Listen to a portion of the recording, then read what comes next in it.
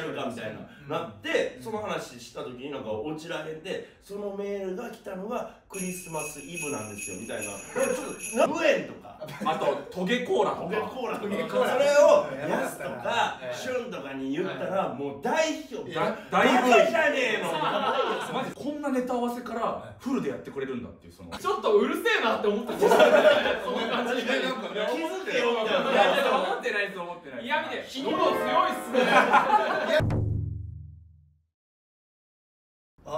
これでもうん。あの村田さんがうん。遠のいてた時代あったじゃないですかそのああはいはいはい。一瞬あの芸芸人はみたいな時期。こうこうなってた時こうなった時ね。うん。もじもじもじもじ。もじもじ。もじもじ もそうそうそうそう。見る人見る人に謝ってた。えその話とか大丈夫なんですか？いやそんなことでもいかないですけど。まあ全然大丈夫やで。うその中で勝山さんを見つけてん。うん。えどっちが漫才やりたいが先だったんですか？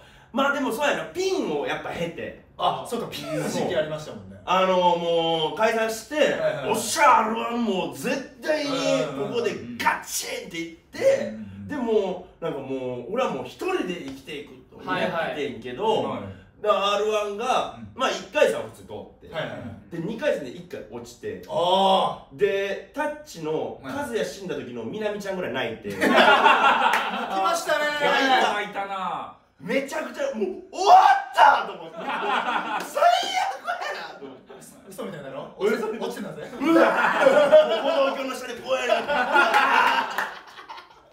ああもうそんだけかけてたそうもうかけたのに。どういう感じのネタだったんですか？ピンの時いは。やだからピンの時はもうなんか車持ってるやつボトルガム買うなみたいな。ギャグあー。があったけどそれをなんかもう詰め合わせセットみたいな。村田のお中元みたいな。そういう感じでやってて。で2回戦。うん2回戦なんでそこまで俺は絶望したかっていうと、はい。まあ最初の一言でバッチーンってきて、はい。おおでもなんかほんまにうもうその一言でん。俺はもうあ一人でいけんねや売れんねやみたいな。でまあそこがピークではあってんけどまあなんかちょいちょい受けて、あでもまあええ感じちゃうかみたいな、うん。でも受かったと。思うもうすぐ準々決勝いけたなと思って、うん。もう調子乗りまくってさ、うんでなんかもう楽屋有楽町のはい。劇場で2回戦やって、はい。楽屋とかに、うん。まあ元えっ、と花賞の花ちゃんはい。はいおって花ちゃんの肩バーンとか叩いて「うわお先!」みたいな。あもうノリノリですね。ノリノリで。うんほんでもう受付のスタッフさんとかにうん「ではまた準々決勝で」うわー結構そうですね。めっちゃ調子乗っててほら落ちたからもうは情けないの。確かにそっか。なんてダサい人間なんや自分のせいじゃないです自か分のせい。だってみなみちゃんがうん「あいつ甲子園行くよ。あいつ甲子園行くよ」って言ってもらって。受付の甲子園のあいつ甲子園行きます。私の恋人になるっぽいやつ甲子園行きますって。次の次の対戦相手のキャッチャーに。ねはい。甲子園甲子園連れてってくれるらしいよなんでみなみちゃんが野球してるの言いまくってたみたいなことじゃないですか。ほんでもうそこでもう何歳俺もう花ちゃんに会わすこともななんてかこれでもなんとか追加合格。追加合格でそう。ですねで準々決勝行って、うん。すでもよしでも準々決勝で、うんもう一気に大逆転。そうっすね。でも決勝行ってみたいな、うん。でも行ったんねんと思ったら準々決勝ではもうほんまにクスクスクスクスえほらクスクスクスクス欲しいなでも晴れやかにもう帰る。逆にね無理や。一人じゃ何もできへんわ。ででその後にそのユニットのやつあってうんあ漫才めっちゃしたいわってなって。あなるほど。そうそうそでも一回試せてよかったいや一回だからそのピンを挟んでよかった。ううん。んその時期ある。えっと EXIT のりんたろーさんもうん。ピンでやってた時期あって。あそうなんだ。はい。ーやっぱその時はりんたろーさんが言ってたのはとりあえず何でもいいから舞台に立ち続けないといけないと思ってうん。立ち続けた。で自分がどんぐらいできるのかも試したかった。しみたいなうん。ボルシェクのタネムさんもそうであ。とりあえずピンでやってた時期あったんですよ。肩出し漫談ってなってたんですあったあった。めっちゃ面白かったんですけおどでもやっぱその時代本当に大事だったっって言ってたんうん。でやっぱ一回ピンでいや自分どれだけできんのかっていうのを試してみる試してでまあ鼻折れてよかったわああ、なるほどなるほど。すごいうぬぼれ屋さんやからさ。ああそうなんこれやなんか一個なんか普通に一回の舞台でバーンって受けたら「ん。はい楽勝!」みたいな「毎回参入!」みたいならしいらしくないいですけど勝山さんもでもその時期にピンでやってたいやもちろんやピンでやってて。勝山さんがピンでやりだした理由って何だったんですか？ピンでやりだした理由はもうとにかく、えー、といろんな先輩方もうそれこそヤスもそうだけど、うん。絶対ピンで勝山さんやった方がいいですよみたいな。とりあえずね。でなんかその、まあ、勝山さんのネタとかそう作れないかもしれないけど、とりあえずやってって舞台から離れちゃダメって言われた、うん。は特にでも男性ブランコの浦井さんとかにも、うん。なんか勝山絶対ピンで出なあかんとりあえ声優しいって言われて優しいなそうステーキを食べながら。食べてきたいいもん食わせてくれる。ででももちろん大沢さんとかにも言われたし、はいはい。絶対出た方がいいよって言われてはい出ましたちょっと、えー、え初めてえてかその会議もしたんですよその僕たちの家で。しゅんさんとあさんと、うんえー僕で初初単独ライブそうだそうだなんか家で単独あライブやるスタンドライブね YouTube 見た見た見たああったな。オンスタンドライブやって何でしたっけそれ？なんとかマンみたいな。とかもありましたしあやっぱ勝山さんが持ってきた最初のピンネタたち56本持ってきてくれたんですけど、もうあのねいやもう全部マジで初めてちゃぶ台ひっくり返そうと思ってひどかって。泣いちゃうだよもうね泣いちゃういや本当に、うん。いやまずもう全部話しますけど、うん。その勝山さん僕はが好きなのはネギトロって言ってで最初のセリフはまずこれ僕が好きなのはネギトロって言ってでっかいネギトロの軍艦をまず持って僕が好きなのはネギトロって言ってそっから勝山さんは一言も喋らない。うんあのリズム音がスマホで流してでなぜかその勝山さんの声でうん。勝山さんのセリフを言い続ける。あ僕でそれも僕が好きなのはネギトロ。なんでネギトロが好きだって？なんたらなんたら僕が好きなのはネギトロって。自分で言えばいいのに。スマホでずっと流してた自分。がで気持ち悪いボケは一つもない。ボケはボケは一つもない。なぜ自分がネギトロを好きか。をずっと言い続けてそれをリズムとして。しかも自分じゃない。スマホの声で勝山さんお前怖い。ねこいつほんまに怖くて。俺もさそんなさこいつ知らんかったからさそのこいつはむちゃくちゃ天然やっていうのはほんまにまあ噂で聞いとったけどそこまで体験はしてなかったんやけどうんこのその多分知ってるかもしらんけどなんかこの間い。その下北のライブでうんであの喫煙所があって俺がタバコ吸うからちょっとついてきてみたいな感じで吸っとってで後輩交えて4人ぐらいで喋っとって。ほんでなんか実はとんかつ街道ちょっと変えたいねんなみたいな話をしとってうん。でその後輩とまあ相談しとってで俺がさ「えー、みこしってどう?」みたいな。そう。なんか後輩が「あいいん。じいうん確かにみこしまあなんか縁起いいしひらがなとかだったらなんか可愛いしあーはいはいはい。村田さんっぽい部分もあるしみたいな。とか言ってたら勝山が「みこしで言うと」みたいな話入ってきて。みこしで言うと僕一時期住みます芸人やってたんですよ、でその時にうん。そのなんかお祭りがあってその町で、うん。えー600キロのおみこしを6人ぐらいで運ぶみたいな、えーはい。でそれで神社の階段を100段ぐらい降りないといけないみたいなのがあったんですよ。あれしんどかったわみたいなのを 言ってきて。で俺もさすがにはい。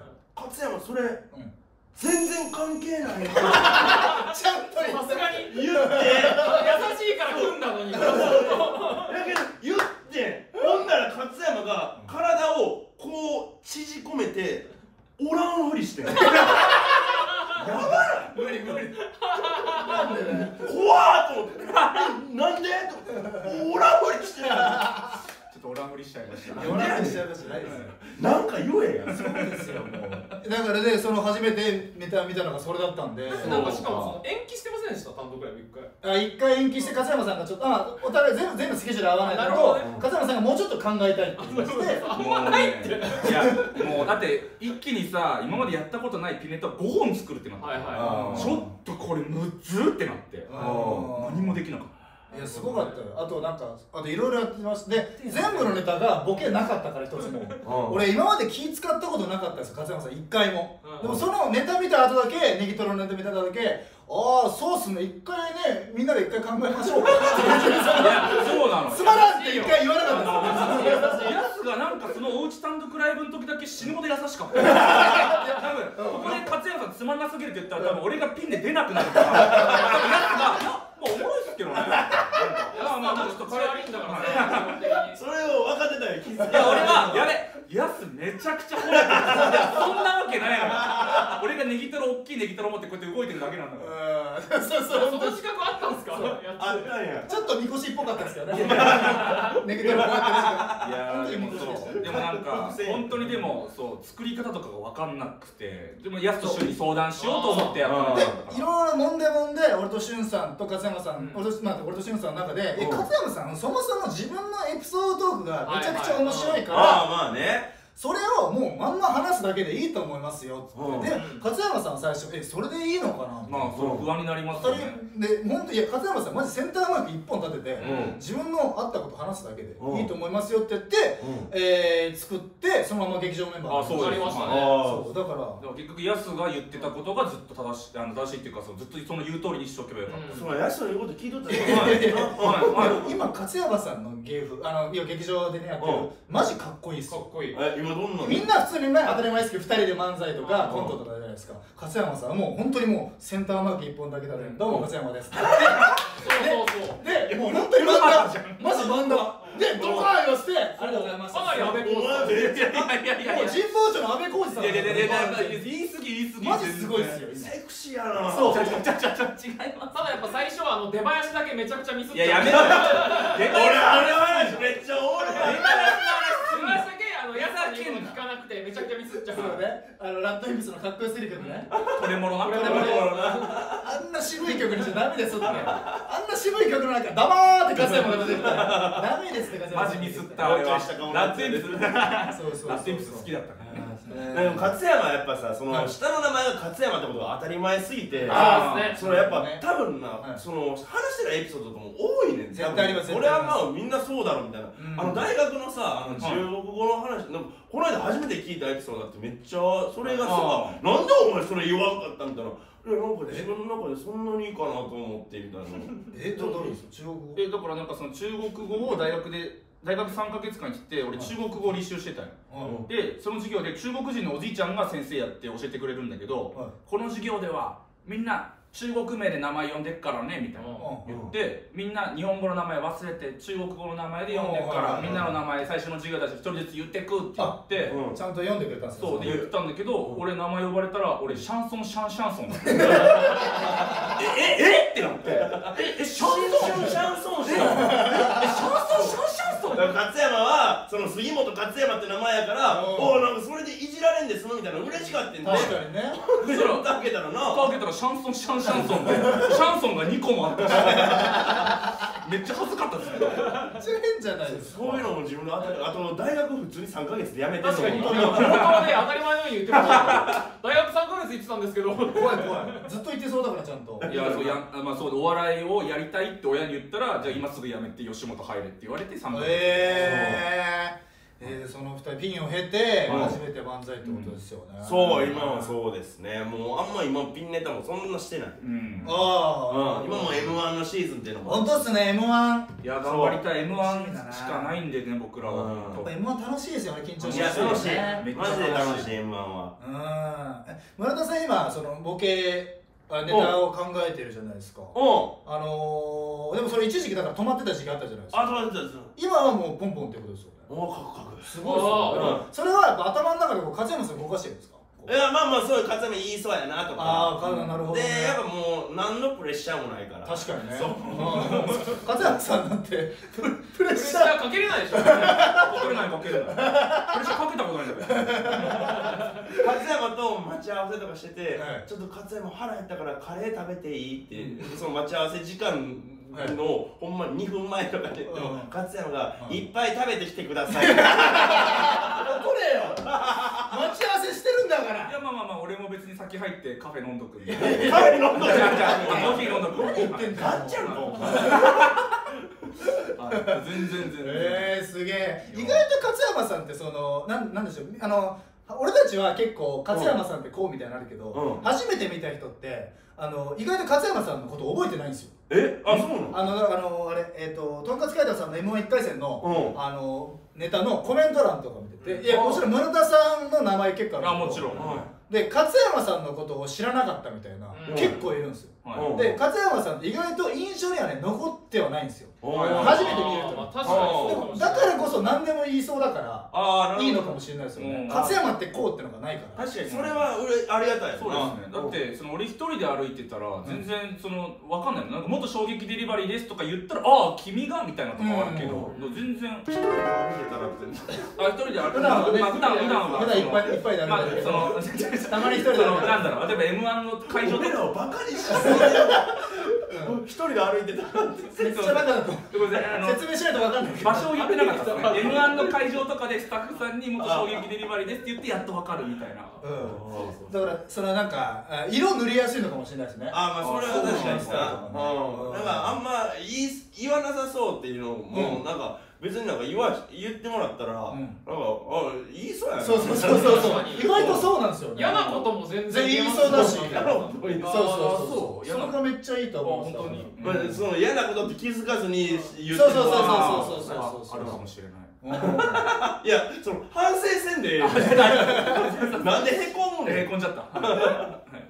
えーというわけで、はい。ちょっと結構ねお話あありいやいやマジでありがとう。たくさん。ありがとう本当に。でマジででもなんかコンビでねあの、はい。SN なんか発信みたいなのどんどん求めてる多分たくさんいると思うんで。あなんか始めるのどうですかね？いやまあなんかうーんうん。始めれそうなコンテンツはあるっちゃありそうなんですけどまあそこもまあちょっとおいおいまあまあ。そうですはい。ねうん。とりあえず今は M1 で。いやー楽しみですね、というわけで以上とんかつ街道さんありがとうございました。ありがとうございました